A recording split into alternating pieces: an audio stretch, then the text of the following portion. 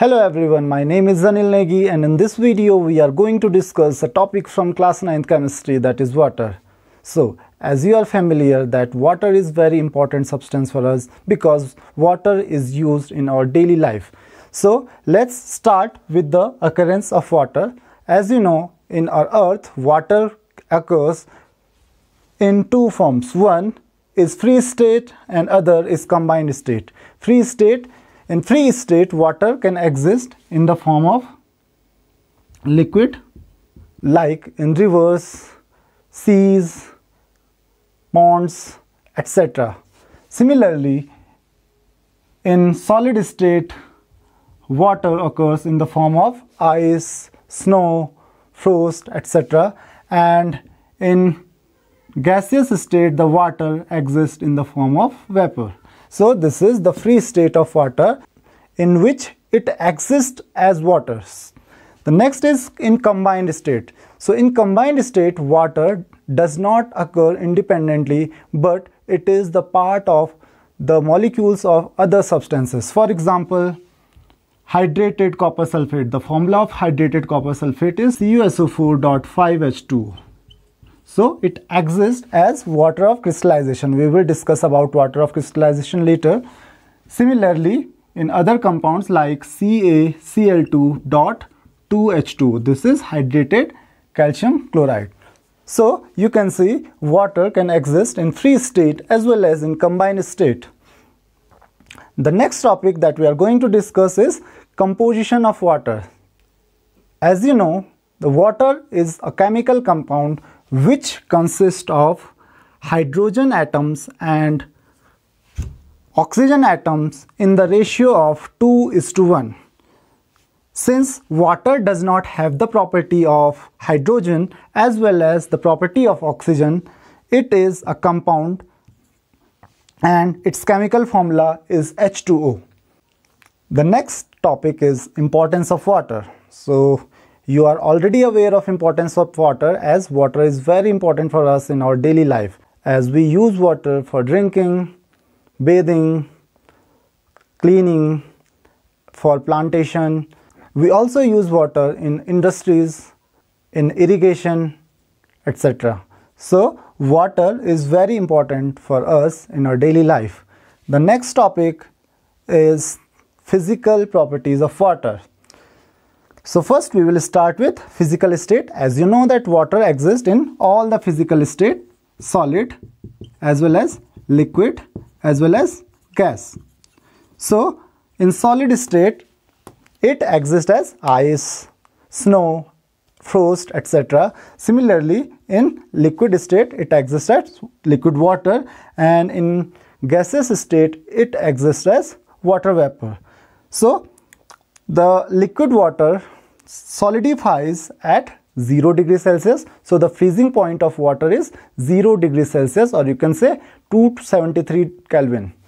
Similarly, the liquid water is vaporized at 100 degree Celsius or 373 Kelvin. So you can say that boiling point of water is 100 degree Celsius. But remember the freezing point 0 degree Celsius and boiling point 100 degrees Celsius is for atmospheric pressure that is 760 mm of Hg, 760 millimeter of Hg.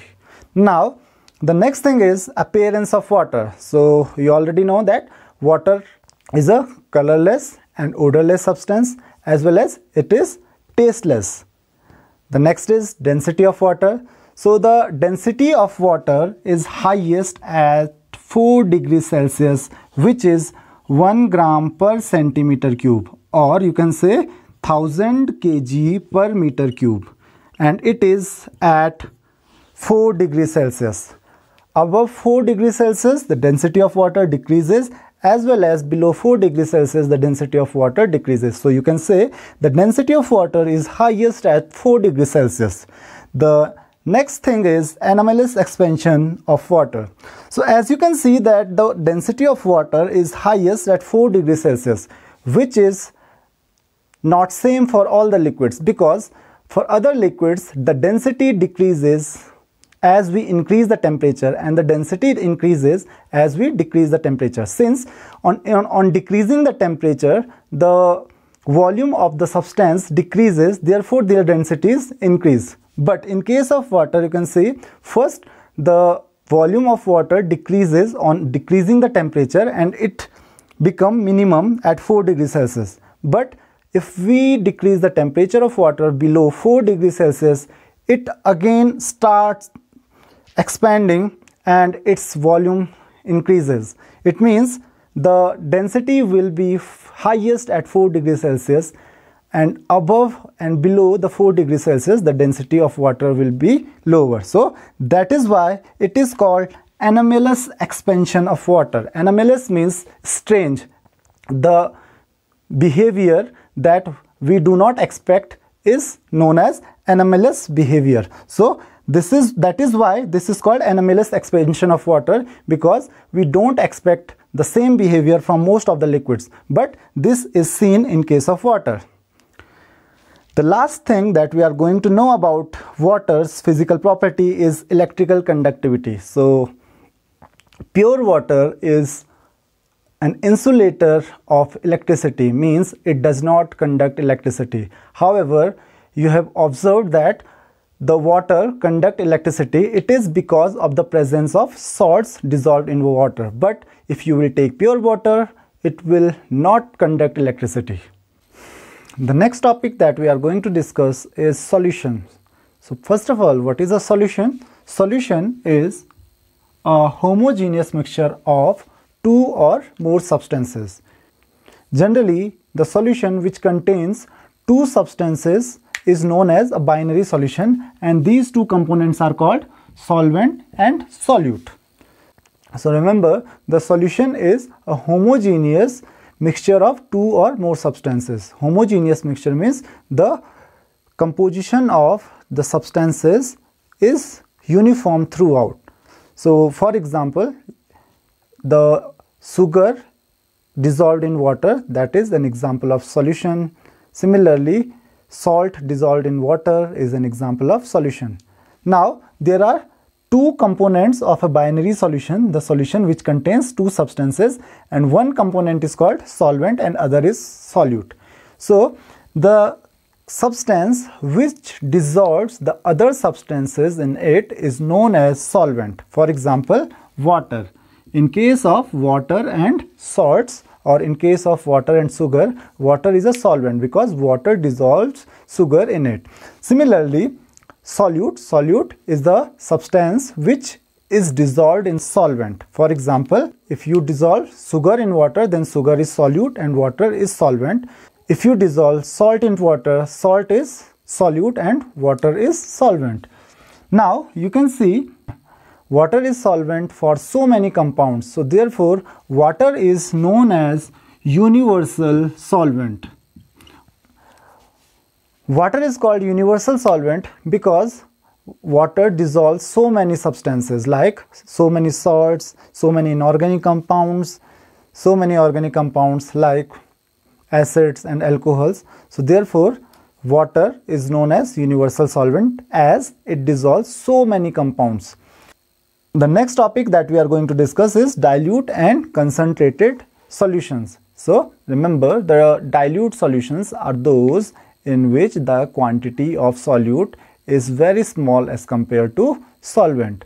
But if you increase the quantity of solute in the solution, it will become concentrated solution. Similarly, if you will increase the quantity of solvent, the concentrated solution will become dilute solution. The next topic is unsaturated, saturated and supersaturated solutions. So let's start with unsaturated solutions. The solutions in which you can further dissolve a solute is known as unsaturated solution. For example, if you dissolve a spoon of sugar in water, then you can further add a few spoons of sugar. So since it has the ability to dissolve more sugar, it will be known as unsaturated solution. Similarly, saturated solution is the solution in which you cannot dissolve more solute. For example, if you dissolve sugar, a few spoons of sugar and there will come a point after which no further sugar will dissolve in the solution. That solution will be known as saturated solution. And the third is super saturated solution. So after saturated solution, if you will try to add more solute in the solution, then it won't dissolve that solute. So this type of solution is known as super saturated solution. So the supersaturated solution is the solution in which the quantity of solute is more than it can dissolve. So this is all about the solution and its types. If you have any doubt, please watch the video once again and if you have any queries, please ask the question in the comments. Thank you very much.